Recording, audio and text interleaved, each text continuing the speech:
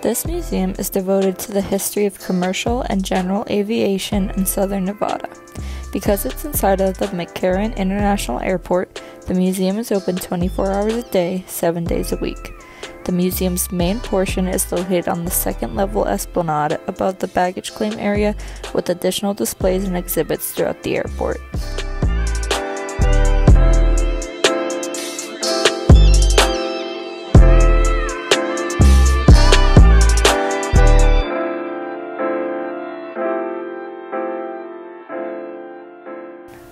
Opened as the International Hotel in 1969 by Kirk Kerkorian, this hotel hosted an astounding 58 consecutive sellout concerts by Elvis Presley.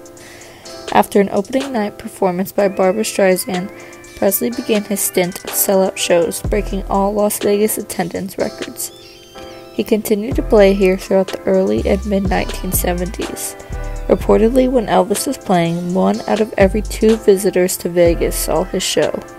In August 1970, the hotel was the main stage location for his concert documentary, Elvis That's the Way It Is. While performing in Las Vegas, Elvis lived in the penthouse suite, room 3000, of the 30th floor. His final performance here was in December 1976.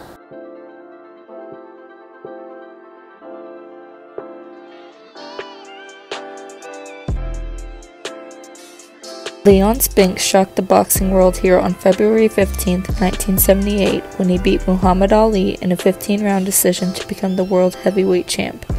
The bout, held at the Hilton Pavilion, only the eighth pro fight for Spinks, who had won a gold medal at the 1976 Summer Olympics. Expecting it to be an easy victory, Ali did not train hard. Spinks, who became a notorious party animal, did not train hard for the rematch and Ali at 37 would beat him to become the first three time heavyweight champion. Spinks would largely disappear from the boxing scene to keep a low profile.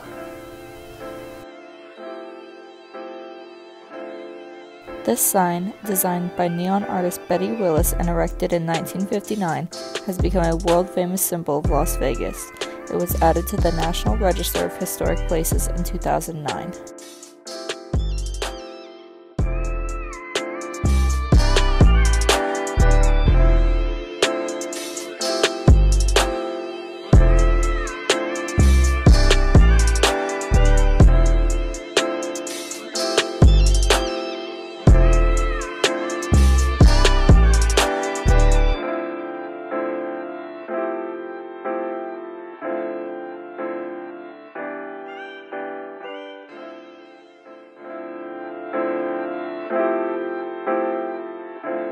This church, a replica of an Old West church, is the oldest existing structure on the Strip.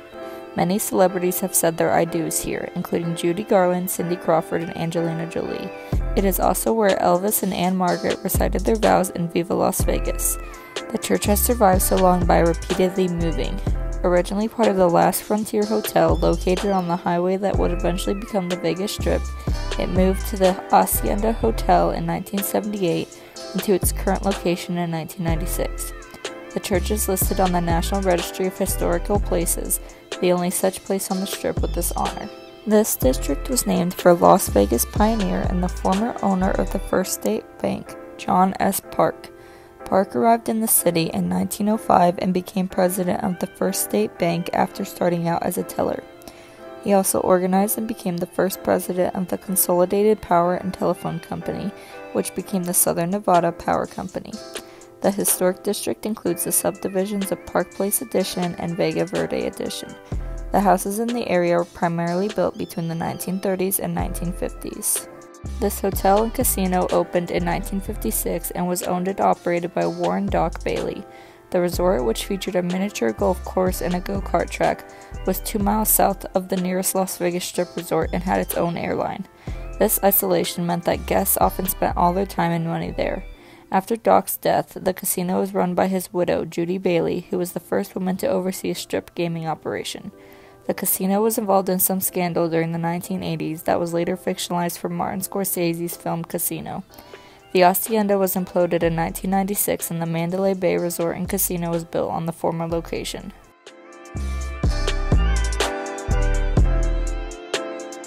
Opened in 1957, this resort has undergone several expansions and renovations. It is one of four located at the Tropicana Las Vegas Boulevard intersection, which has the most hotel rooms of any intersection in the world. In 1973, the Tropicana added the Superstar Theater, which was built to the specifications of singer Sammy Davis Jr., who used the venue as his showcase. The hotel was featured in the Elvis film Viva Las Vegas, as well as the James Bond film Diamonds Are Forever. In February 2010, the Las Vegas Mob Experience opened, featuring a thousand unique artifacts and recreations that tell the tale of organized crime in Las Vegas.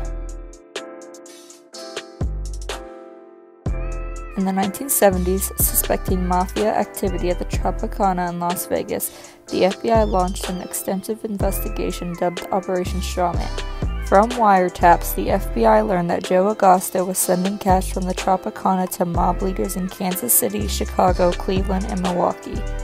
On Valentine's Day of 1979, the FBI conducted a raid on the Tropicana after they learned of a link between Kansas City's Civella mob family and gaming executive Carl Thomas. In 1981, a grand jury indicted Agosto Thomas, Kansas City mob boss Nick Civella, and other members of the Kansas City mob. They were convicted in 1983.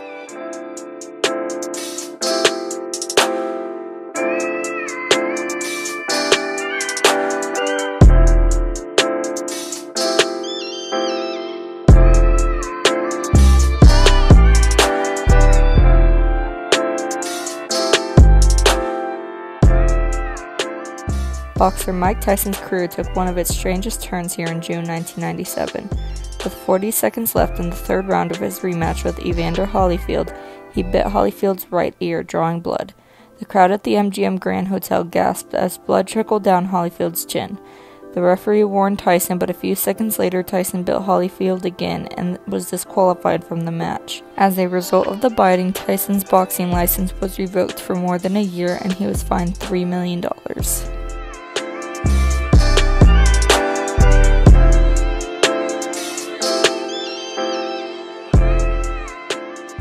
Originally opened as a tally ho in 1962 by Edwin Lowe, inventor of the game Yahtzee, the hotel changed owners in 1966. It subsequently underwent $3 million in renovations and was rethemed as the Aladdin.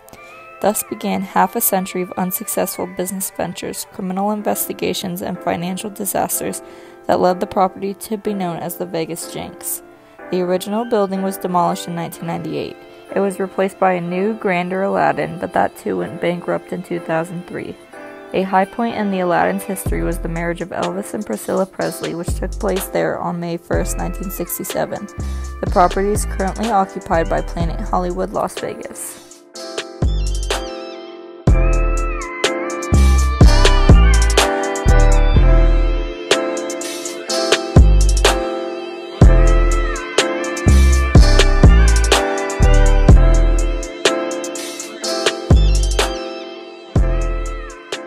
This Roman Empire themed hotel and casino opened in 1966. On December 31, 1967, Evel Knievel unsuccessfully tried to jump over the hotel's water fountain with his motorcycle.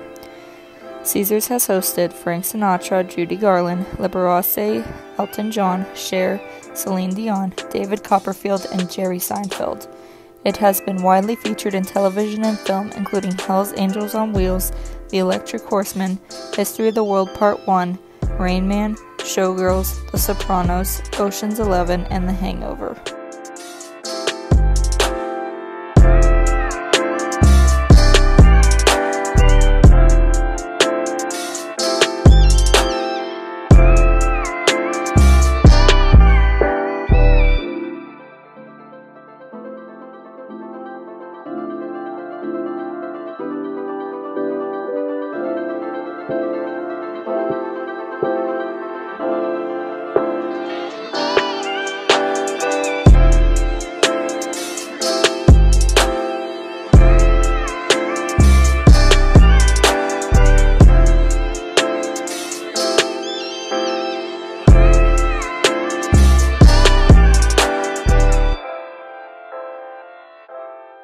Gangster Benjamin Bugsy Siegel opened the Pink Flamingo Hotel and Casino on December 26, 1946. It was the third resort on the strip and is the oldest still in operation.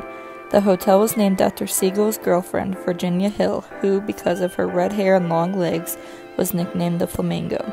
Siegel would later be killed at Hill's Beverly Hills mansion.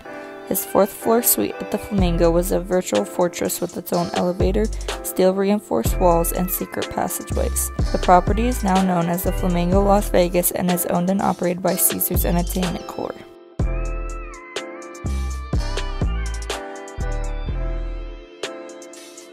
The Sands opened on December 14, 1952, and in its heyday defined cool on the Las Vegas Strip.